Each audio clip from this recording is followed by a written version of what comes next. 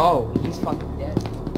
Uh, Oh, I have a he's gun! been- Did he want a gun? gun? Gun. Fucking kill him!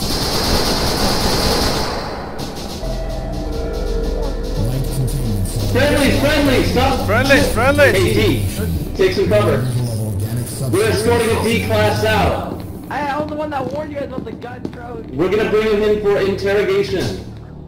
Oh shit, computer's watching us. Guys?